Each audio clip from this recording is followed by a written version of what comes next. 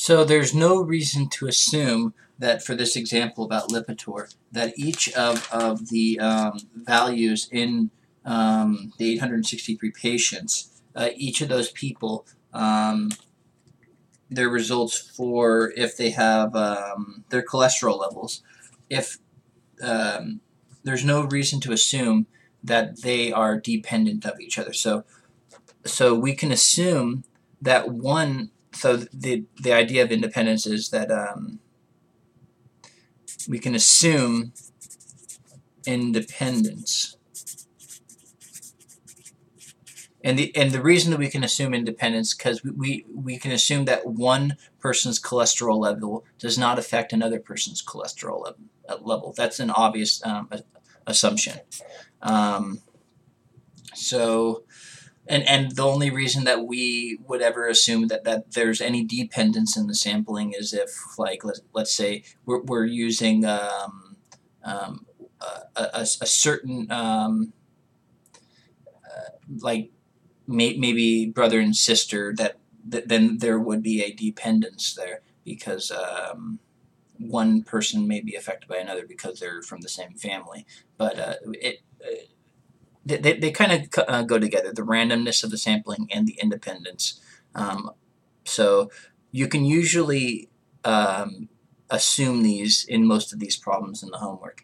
But um, this, for second check of the sample, uh, the large enough sample size is usually the most common thing, um, thing that you'll be dealing with in your checks to make sure that you have a large enough sample size to have a normal um, distribution. So, um, okay, so we're done with our checks. Um, so we're ready to go into step one. So step one is where we go into um, the um, the null and alternative hypothesis. So reading the problem, so let, let's figure out what part of the problem number 15 that tells us what type of um, specifically, um, well, let, let's let's start on this. So step one is is dealing with our null and alternative. So we so we always have the same um, sort of information uh, at first. A, there's some kind of standard things. So first H naught colon H1 colon and then since we're dealing with the population proportion, we're always making, uh, we're trying to estimate what P is. So we always deal with the population parameter here. Like in section 10.3, we'll be dealing with mu here. Mu would go here. That's our population parameter. We always have equality here. And then we have some sort of inequality. We'll figure out what that is. And then P naught always goes here. It's the claimed value. So 0.019 and 0.019. Now we just need to figure out the inequality. And that's where we need to look into the problem. So um, it's based off of the wording of the claimed uh, result. So um, it, it, mentions here, is there evidence to conclude um, that more than 1.9% of Lipitor users experience flu-like symptoms at the side effect? So it mentions more. So since it mentions more, we put greater than. More, greater. Okay, so that gives us our alternative inequality um, in our in our alternative hypothesis. So now step two, that was step one. Step two is our level of significance. Right there. There's our level of significance. Alpha equals 0.01. Okay? So what we're saying here is that um, we're going to be testing the claim um, to see if there's evidence to conclude that it's more than 1.9%. But how picky are we? How picky are we going to be doing this hypothesis testing? Our pickiness is alpha equals 0.01. So um, this is probably, I, I, guess you can say this is a little more picky than the typical 0.05 level of significance. We want to be even more sure. So you usually want to decide what your um, what your alpha is based off of the um, the probability of making a um, uh, of, of making a type 1 error. The, the, the, um, it's the seriousness of making a type 1 error. So that um, you're not really seeing this so much because they're choosing your alpha for you. But for your labs and for your final project, you're going to be choosing your own alpha. And you're going to be choosing a lot of this information that's given to you in the problems. And um, you'll be seeing the full use of an entire hypothesis testing from scratch on your projects. So um, not so much in lab one, but but in your final project, and we'll work uh, work up to that. So there's your alpha equals 0.01. Step two. Now step three. Step three is where we get into the calculations. Step three represents our test statistic. And our test statistic always for a, um, a um, hypothesis testing for population proportion is a z-score value, as you may remember. So we call this z naught for test statistic. Z naught is um, is our test statistic is always um, for a hypothesis hypothesis test is what we're doing is, is we're comparing we're trying to see how well the sample matches up with the claimed value. So that's why on the numerator of our hypothesis test, we have H naught, or sorry, H naught. Um, we have P hat. So our P hat is 19 over 843. How well does our data match up? So how far away is our data compared to our um, our claimed va uh, value 0.019 so p hat minus p naught how far are they away from each other but we can't just simply measure the distance from here to here we got to have um, like always with z naught we have to divide by a standard amount um, so we can figure out how many units it is from here to here. So um,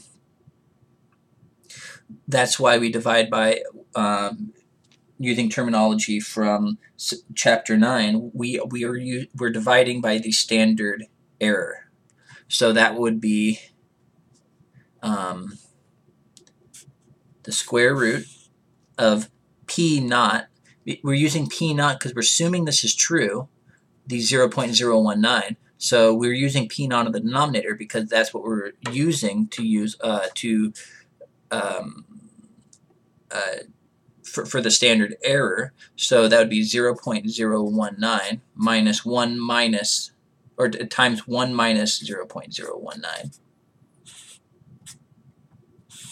And then we divide that by n. Okay.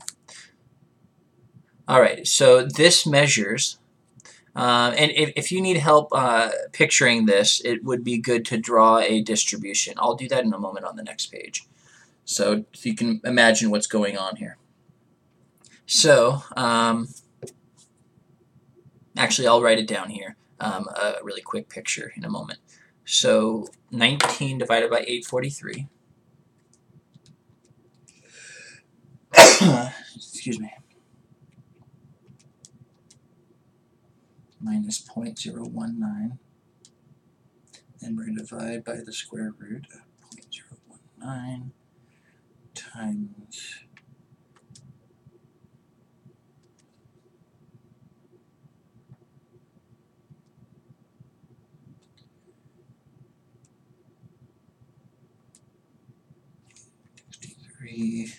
and I got a value of 0.76.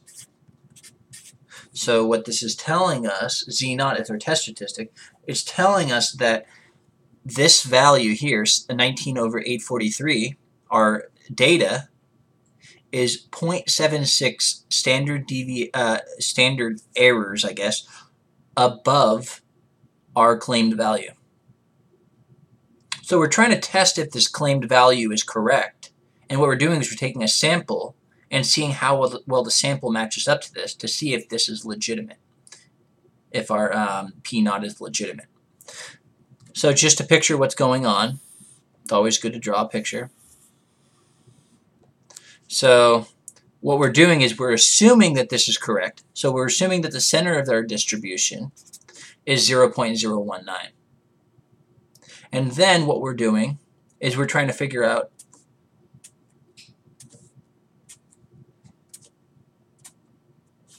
we're trying to figure out how many standard deviations is 19 over 843 from our claimed value.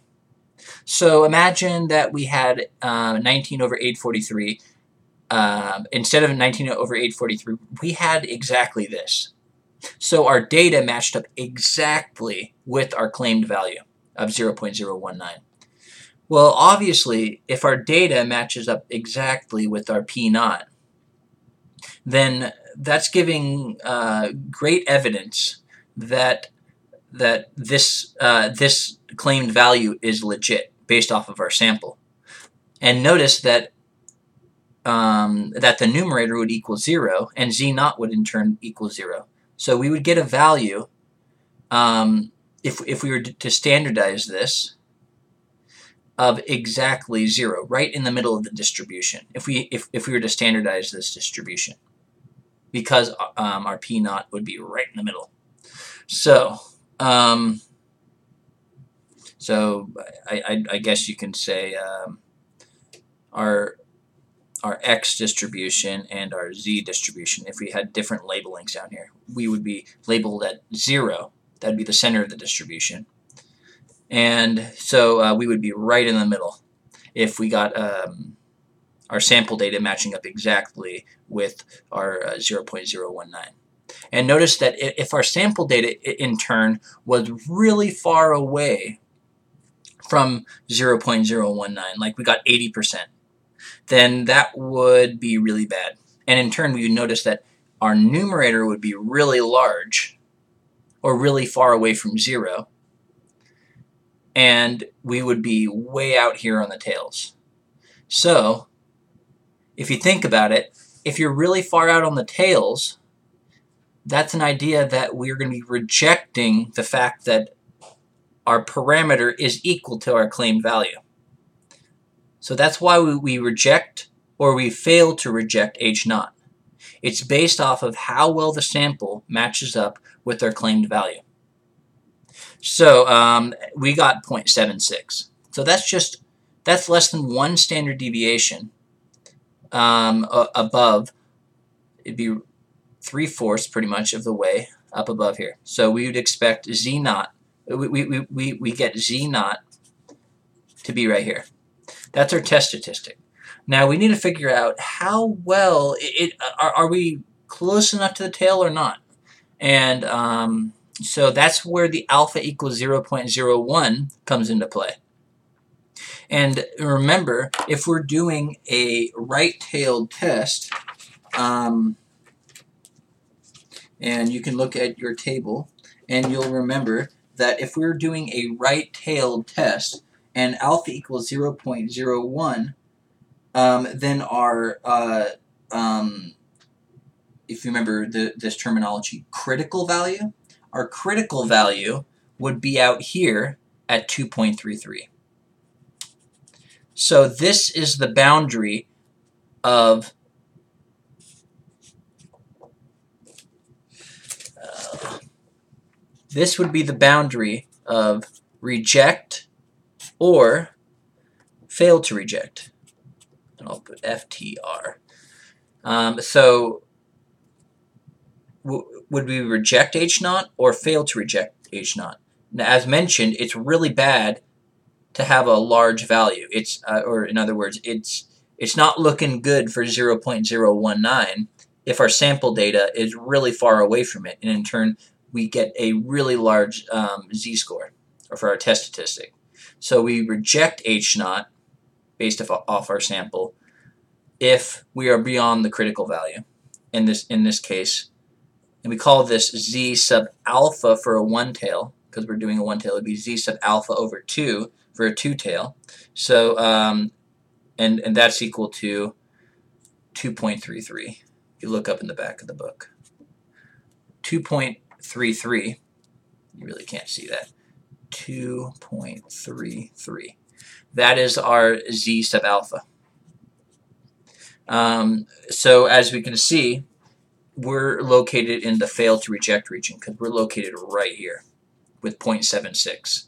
Okay, so there we go. We have failed to reject, based, and if you remember, um, this is the classical approach. And so um, let's think about now the, the um, so our result for this, I'm running out of room, I'm going to write it over here. We are going to um, fail, so we're done with step three. Step three is just calculate the test statistic and the critical value. We did that. So step three is done. Step four is, is to compare. And this is step three and step four of the classical approach. So um, since um, our test statistic, since test statistic is larger than the, or sorry, smaller, below, way smaller, smaller than the uh, critical value.